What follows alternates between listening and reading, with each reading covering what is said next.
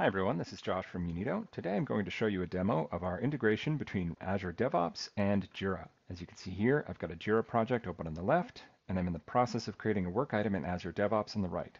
So I'm just going to finish filling out my fields for a bug, and you're going to watch it appear in this bug triage project in Jira in real time. So I'll just add a tag, save and close.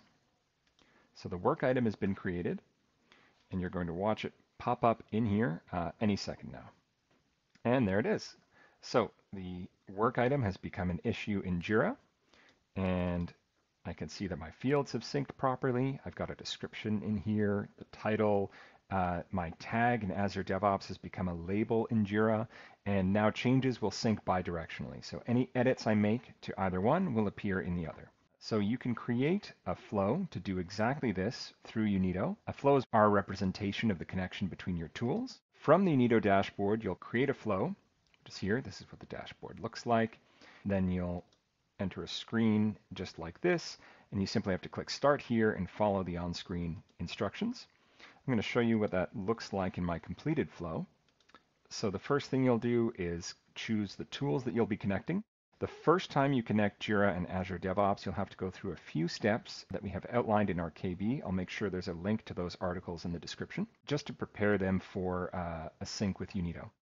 So then you'll choose your accounts and then the projects that you'll be syncing work between. The next step is called flow direction. So this determines how work items are automatically generated by Unito. So in this case, I've chosen a one-way flow from Azure DevOps into Jira. Any new work items I create in Azure DevOps will appear in Jira, and later I'll choose field mappings that will determine how the individual fields will stay in sync, either bidirectionally or in a single direction. If I choose a two-way flow here, then any Jira issues I create that match my rules will also appear in Azure DevOps.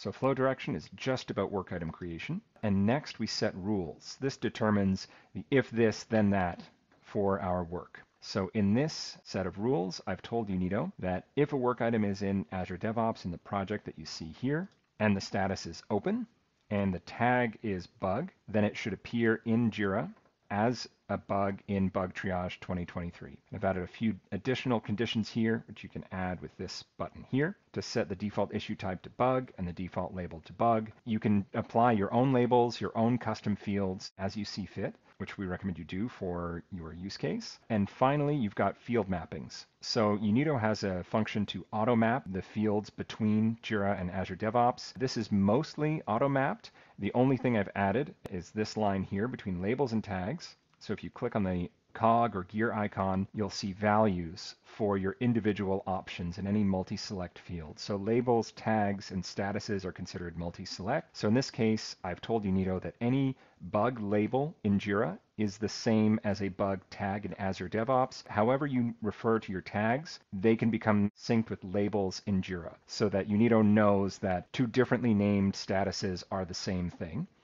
And you can add additional mappings by clicking this button here and simply selecting fields in each tool. And so those are the steps of the flow builder. And all you have to do is click a launch flow button that will appear and your work will begin to sync. So as I mentioned, there are a few steps you'll need to perform in each tool. They're outlined in an article that I'll include in the description of this video. Just quickly in Azure DevOps, it's very easy. All you need to do is go to your organization settings to policies and make sure that third-party application access via OAuth is turned on. There's a similar function in Jira.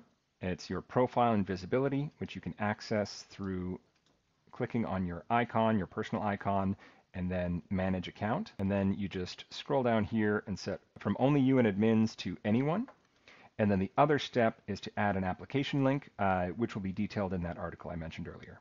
Once those steps are completed, you can create a flow and sync your work between these two tools. And if you're a Jira user primarily, you can even do so directly from your Jira interface using the Unito app which I will also link to in the description below, so that you can build your flows without leaving the Jira interface if you prefer. If you have any questions, don't hesitate to reach out and let us know. Thanks for watching.